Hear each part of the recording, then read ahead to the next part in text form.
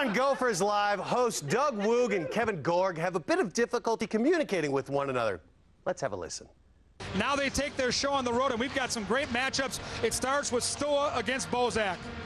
Well, you know, I couldn't quite pick you up, but I, I, I got an idea what this is all about. That's about the stars of this game.